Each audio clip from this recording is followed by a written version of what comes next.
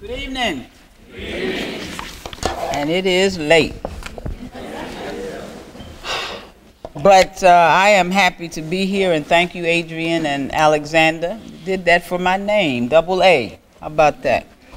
And to the uh, pre-law summit, the HBCU pre-law summit, to all of the students and uh, to all of those who have guided you through this process.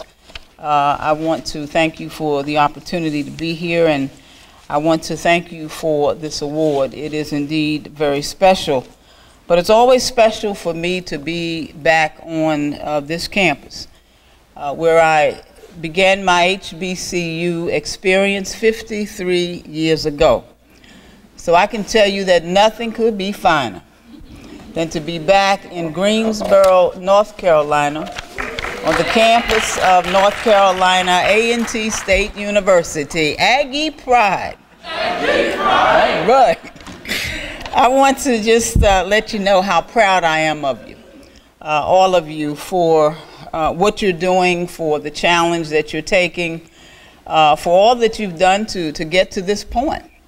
And I've got to tell you that uh, I come HBCU uh, born. I am an Aggie twice. Let me just make that clear. And I was able to come to North Carolina A&T State University.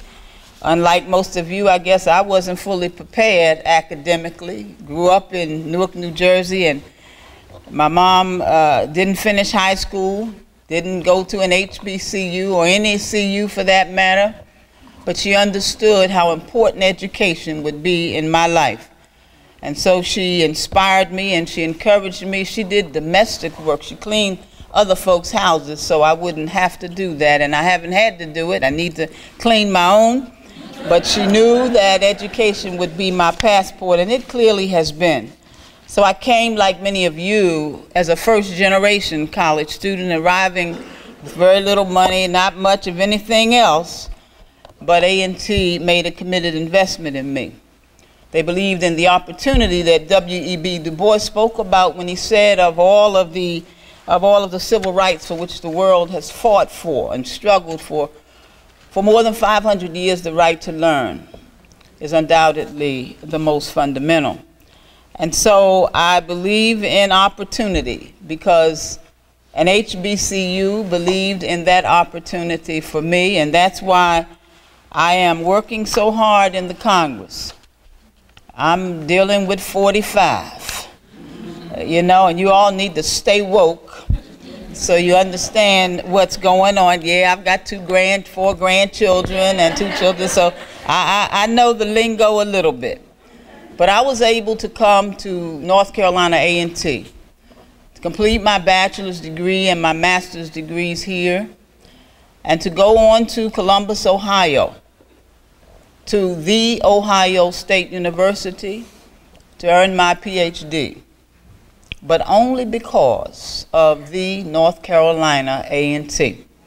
And so I certainly want to just uh, praise uh, my school and all HBCUs because I know what they do for, for us.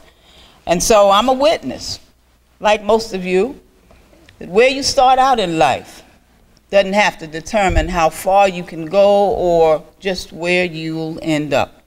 So I'm a proud Aggie twice. I'm a former professor from Bennett College. I taught 40 years. Those any Bennett Belles in the house? Bennett Belles are voting bells. And so I continue to be a fierce advocate for HBCUs and our students nationwide. And so while I was here in North Carolina, in the North Carolina House, I worked hard through the Legislative Black Caucus and the foundation to uh, make sure that we had the funds for our students and scholarships. And we're continuing to pursue those efforts right now in Congress. I'm, I think I'm the only one up here that's not a lawyer, but I got to tell you that we've got a lot, lot of lawyers uh, in Congress. A lot of them are, are, are members of Congress, but many of them just work there. My chief of staff has a law degree not from an HBCU, so we talk about that. But the point is, um, the point is, uh, there's a lot that you can do, and uh, I heard the, the speaker earlier talk about she's teaching and so forth. But so it gives me an opportunity while I'm in Congress to learn a little bit not only about the law, but to help make them. And uh, that's a good thing to help shape public policy. And I've got to tell you, you don't change it. If you don't like public policy, you don't change it until you change the policymakers. So I'm hoping that all of you out there,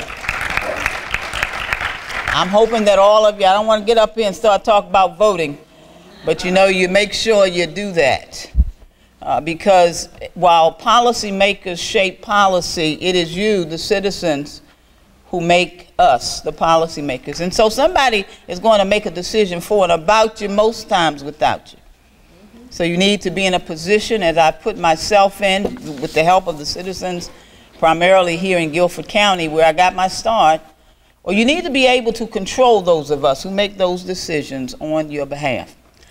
And so I want to just say that we have uh, a, a, lot of um, a good lineage in our schools. And uh, those of you, you have a rich heritage if you attended an HBCU at, at any way, at, at any time. And we account for less than 20% of college African American enrollment, but we produce more than 25% of STEM graduates and 80% of lawyers. But then when you look around, uh, we don't see, we don't have enough lawyers that look like you. So if that's what you want to do, I'd say go for it.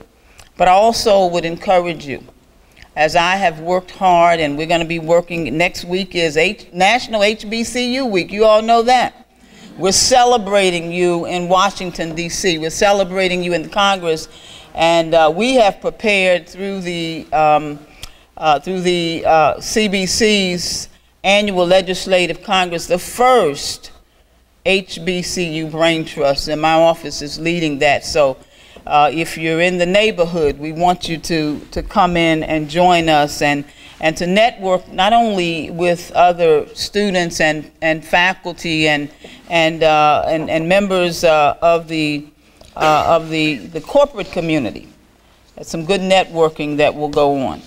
But then I want you to make sure that you let the Congress know uh, that what you do count that the schools that you have attended and are attending count and that we've got to make sure that they consider education as a priority.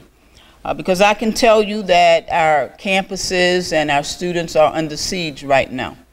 And we've got to speak up, we've got to stand up, and if you like Alma Adams, you're going to have to cut up sometimes. But that's all right. You know, it's, it's, a, it's a way to not only get the attention. And so we've got to tell Mr. President to remove the cuts from the education budget, to invest more in higher education, to reduce student debt. I know y'all got some. And don't eliminate campus-based aid. You know, I don't understand why they even want to do that. I always had to work when I was in school. Don't eliminate work study, and by all means, we've got to expand Pell so that it is year-round, because I know you're in school year-round. And so I just want to remind you that America is graying. I've been out here for 34 years. The Lord has allowed me to go from school board to Congress, uh, from walking the, the, the, the, streets of, of Newark, New Jersey, to now the, the halls of the U.S. Capitol. And I'm grateful for the opportunity because I got my start at an HBCU. And had it not been for the education that I received at North Carolina A&T, uh, I would not be where I am today, and of course with the help of the good Lord who guided me all the way. So remember, as you give to your nation and all the things that you're going to do and, and the communities that you're going to give back to, indeed, it's really about the folks that you're going to serve. Uh, make sure that as you climb this ladder of success, that you reach back and that you pull somebody else up along. And remember to make sure you reach back and give back uh, to your schools. And one final thing I want to remind you of is what Emerson said a long time ago that, that most of the shadows in one's lifetime stand in the, most of the shadows in one's lifetime come from standing in one's own sunshine. So don't stand in your own sunshine and don't allow anybody else to block your view. Thank you. God bless.